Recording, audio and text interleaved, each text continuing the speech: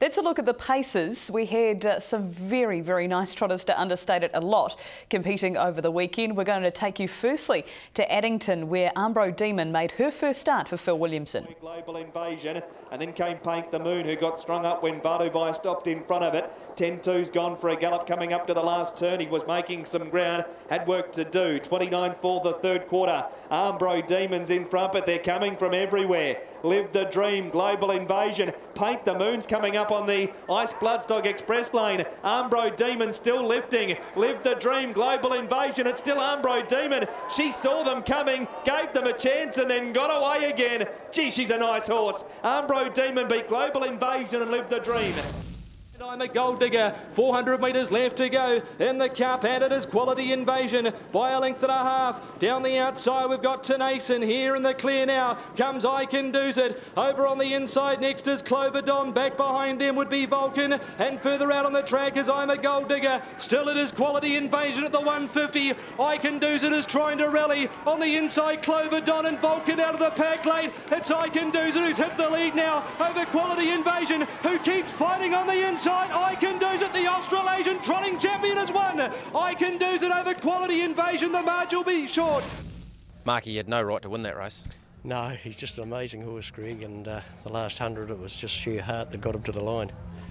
Down the back straight, when you started moving around them, Anthony Butts made you go one wider again. Was there any stage where you thought, hmm, I'm in a bit of trouble here?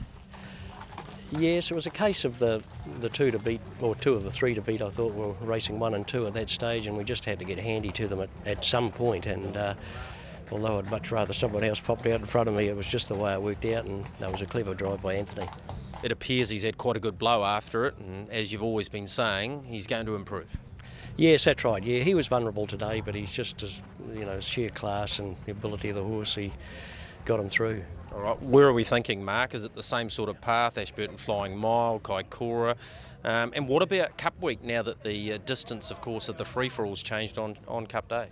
Yeah, look, Greg, he just thrives on the racing and um, the Canterbury Park Trotting Cup's in between there as well, and uh, he's going to have more racing under his belt by the time he gets to the, the Dominion, but, uh, you know, I think he'll thrive all the way through pretty keen to win that Dominion because it's the one that got away last season, isn't it? Yes, well, he, he beat himself last year making a mistake, and um, but no, it's one I haven't been able to, to win, so it'll be nice to be able to do it this year.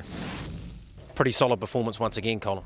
Yeah, it went good, Greg. He, uh, he began good, but he's a bit of a dummy in front, so I lost the lead.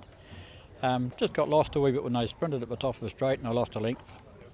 But uh, overall, pretty good. Yep, look, much better than that first up when obviously things didn't actually work out that well for you when he had a gallop. But he's going to be competitive in all of these races, isn't he? Oh, I like to think so, yeah. Um, he's up in the top half a dozen anyway. So. Well, you certainly got on the back of the right horse. Yeah, got a good run, Greg. He went pretty good, but just probably better than just sort of last 50 metres. He was, I thought he was going to get second there, sort of 100 out, and just peaked the last bit. But you know, good run, and you know, all good horses all around him. Yeah, just that little bit older this time round, just that extra run perhaps to get him to his peak? Yeah, possibly. Yeah, he's one of those horses. He just uh, just keeps whacking away. So yeah, he'll he'll be competitive all year. But uh, you know, it's probably our best chance to beat I Can Doosit today, and we couldn't. So uh, it's only going to get harder from here on in. Jim, that was a pretty good run first up.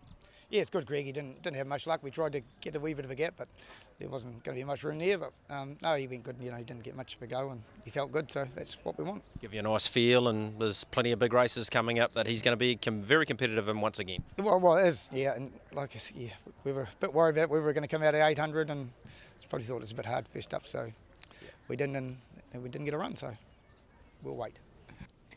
Jim Curtin there and uh, Greg getting the thoughts of many of the drivers at Banks Peninsula. Firstly, Craig heading back to Armbro Demon. First start for Phil Williamson. Uh, we hadn't seen her since Cup Day last year, but she actually sustained a flat tyre during the running two when breaking at the 300. It was an unbelievable performance, wasn't it, Jess? Um, Matthew Williamson took her to the front at about the 600 metre mark, started off the 20 metre handicap. Uh, she had a little bit of a skip round the final bend, Jess was a little bit of a concern, uh, but she just came back trotting and uh, she got away from them inside the last 100 metres. It takes a record, I think, now to nine starts, uh, six wins.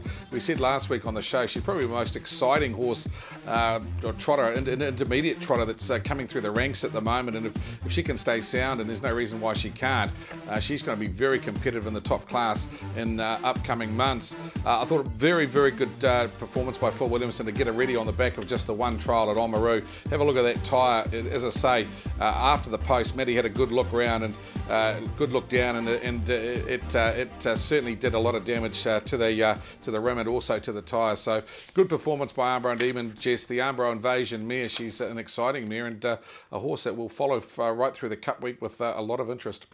Yeah, and hopefully, fingers crossed, as you say, she stays sound and, and goes right throughout the grades and we see her up against the very best. Uh, I can do it. Well, he is an absolute freak, Craig. He had every reason to be beaten and lay down on Sunday, but it's indicative of what a champion he is.